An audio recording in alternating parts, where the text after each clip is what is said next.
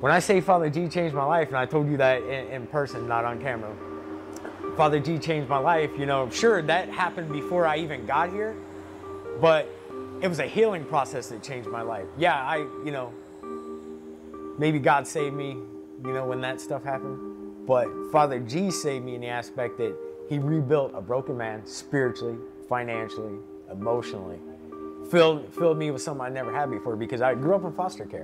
You know what I mean? Never knew my biological parents.